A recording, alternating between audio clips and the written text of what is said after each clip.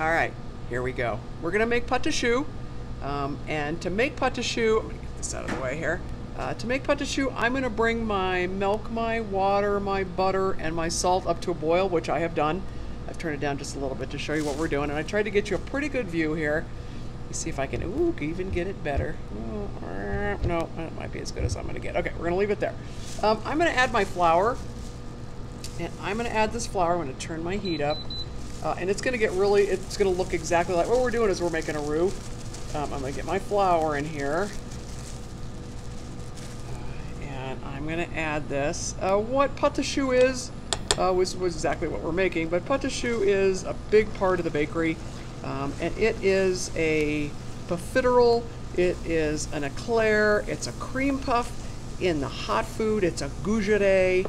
Um, it is uh, a roux. And so what we've done is, like I said, we brought our milk, our water, our butter, our salt up to a boil. And what I want to show you is, and I might steam this up a little bit, is how long you cook it. The longer you cook it, like I've always said, I tell you guys this all the time, the longer you cook the pâte de choux, the more scum, I'm going to show you the scum on the bottom of my pot, I don't have enough yet, uh, the better the rise. And really we're concentrating, we're cooking it down just like we do a roux in the hot food kitchen.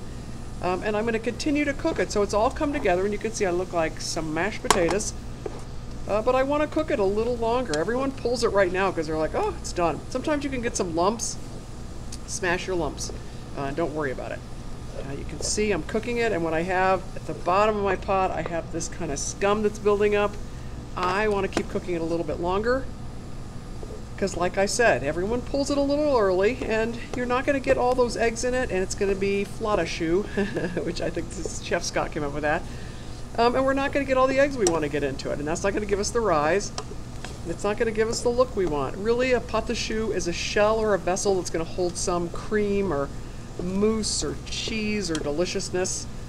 Um, and it's pretty amazing stuff. So we're going to cook this through, and then what we're going to do is we're going to get it on the mixer, and we're going to start adding our eggs. Um, and you can see I have a pretty good scum going on the bottom of the pot. That's a pretty good picture right there.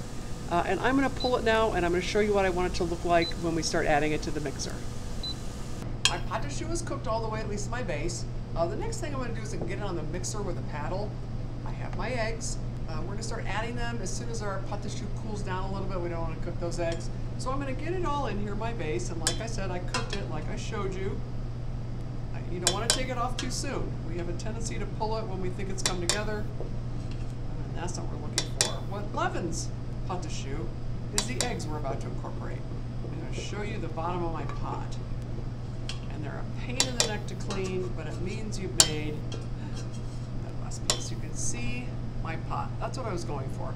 Like I said, the longer you cook it, the better rise you get out of it, the more eggs you get into it. So it's all it's all a positive. So I'm gonna let this, you can see my steam coming out the top.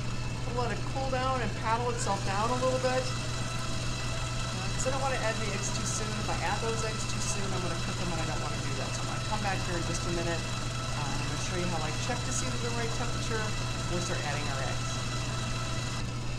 looks like we've cooled down enough to start adding our eggs. What I what I'll try to do, and a lot of times if I'm using a hot product, is I feel the bottom of my bowl. So like right here, if it's cooled off a little bit um, and I can touch it, then it's just right for me adding my eggs. So I try and add two eggs at a time. If you get three in there, it's fine, and you're not going to hurt anything. Uh, what's going to happen is you have cold eggs and warm pâte base, and so they're going to tend to separate and not look right, and then the pâte kind of hits the side of the bowl.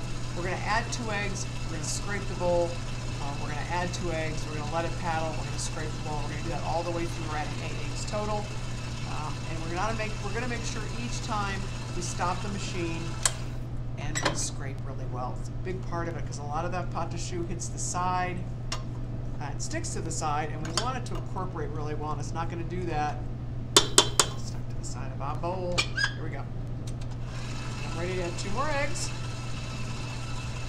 go. Get them in there. And I'm going to do this all the way through. I'm going to stop here so you don't have to suffer through it all. Uh, and when I hit egg eggs and I get them all incorporated, I'm going to show you exactly what we're looking for.